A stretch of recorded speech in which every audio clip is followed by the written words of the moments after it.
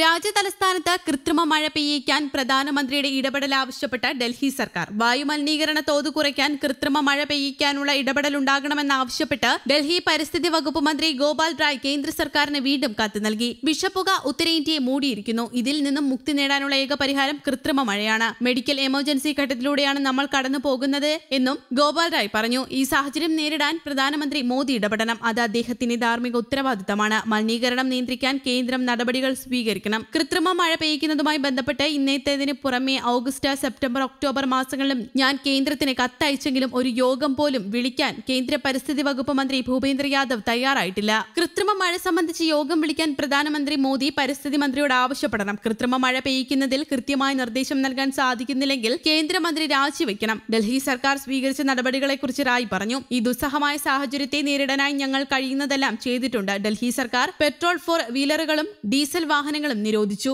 അതോടൊപ്പം തന്നെ പുറത്തുനിന്നുള്ള എല്ലാ ട്രക്കുകളും ഡീസൽ ബസ്സുകളും നിരോധിച്ചിരിക്കുന്നു. സ്കൂളുകൾ അടയ്ക്കുകയും ഓഫീസുകളുടെ സമയം പുനഃക്രമീകരിക്കുകയും ചെയ്തിട്ടുണ്ടെന്നും അദ്ദേഹം കൂട്ടിച്ചേർത്തു. വാഹനങ്ങളെ നിയന്ത്രിക്കുന്നതിനായി ഒറ്റ ഇരട്ട പദ്ധതി നടപ്പാക്കുന്നതിനുള്ള സാധ്യതകളും ആം ആദ്മി പാർട്ടി സർക്കാർ ചർച്ച ചെയ്യുന്നുണ്ട്. ഞങ്ങൾ എല്ലാവിധ സാധ്യതകളും പരിശോധിച്ചു വരികയാണെന്നും ഗോപാൽ റായ് പറഞ്ഞു. ഡൽഹിയിൽ കൃത്രിമ മഴ പെയ്യിക്കുന്നത് സംബന്ധിച്ച ചർച്ചകൾ നടക്കുന്നുണ്ട്. കഴിഞ്ഞ നവംബറിലും അന്തരീക്ഷ മലിനീകരണം കുറയ്ക്കാൻ ക്ലൗഡ് സീഡിംഗ് വഴി കൃത്രിമ മഴ പെയ്യിക്കാനുള്ള സാധ്യത ചർച്ച ചെയ്യാൻ ഡൽഹി സർക്കാർ സുപ്രീം കോടതിയെ സമീപിച്ചിരുന്നു. മേഘപടലങ്ങളിലെ നീരാവിയെ രാസവസ്തുക്കളുടെ സഹായത്തോടെ ഖനീഭവിപ്പിച്ച് ജലത്തുള്ളികളാക്കി മാറ്റുന്നതാണ് cloud seeding silver iodide potassium iodide dry ice തുടങ്ങിയ പദാർത്ഥങ്ങളാണ് മേഘങ്ങളിൽ വിതറുക. ക്ലൗഡ് സീഡിംഗ് ഫലപ്രദമായി നടപ്പാക്കിയിട്ടുള്ള രാജ്യമാണ് യു എ നിരവധി തവണ രാജ്യം ഈ തരത്തിൽ മഴ പെയ്യിച്ചു. കൃത്രിമ മഴ പെയ്യിപ്പിക്കുന്നതിനുള്ള ഉയർന്ന ഗുണനിലവാരമുള്ള ഉപ്പ് ജ്വലന പാളികളിൽ അടുത്തിടെ യു എ വികസിപ്പിച്ചിരുന്നു. അതേസമയം വളരെയധികം ചിലവേറിയ ഒരു പദ്ധതി കൂടിയാണ് ക്ലൗഡ് സീഡിംഗ് ഒരടി മഴ പെയ്യിക്കാനായി ഇരുന്നൂറ് അമേരിക്കൻ ഡോളർ ചിലവ് വരും. അതായത് പതിനാറായിരത്തി എൺപത്തി ഏഴ് രൂപയോളം വില.